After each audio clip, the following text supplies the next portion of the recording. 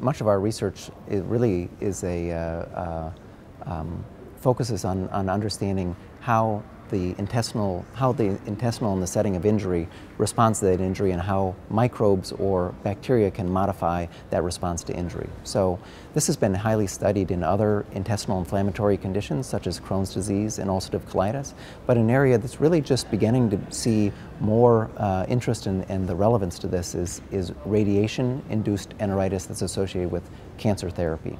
In the setting of, of cancer therapy, patients typically receive, uh, many patients will receive with advanced, local advanced cancer receive both radiation as well as chemotherapy or at least radiosensitizing chemotherapy. And this is the case with gastrointestinal cancer. And one of the significant side effects of this is that they have uh, a mucositis or an injury to the lining of the mucosa. And that mucositis results in significant symptoms such as diarrhea, nausea, vomiting, anemia, and all of these things can be so severe, in fact, sometimes that patients require hospitalization and they may have to stop their cancer therapy. And if they stop their cancer therapy, they have less likelihood for a cure. So really, what we need, Peter, is new therapies that can prevent that mucositis or that injury that goes with cancer therapies. There's been some uh, historical data that suggests that the, that the intestinal microbiome can modify the gut's response to radiation injury. For example, uh, antibiotics sometimes can, in looking in animal models anyway, antibiotics can reduce death from radiation.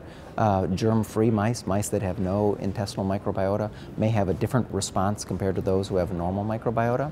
And there's been some human clinical trials, which is what you mentioned that, I, that, that we performed a review on, really looking at uh, various different um, trials, human trials that have been done um, to see if probiotics might either prevent injury related to radiation or whether or not they could treat it once the, once the injury has already occurred.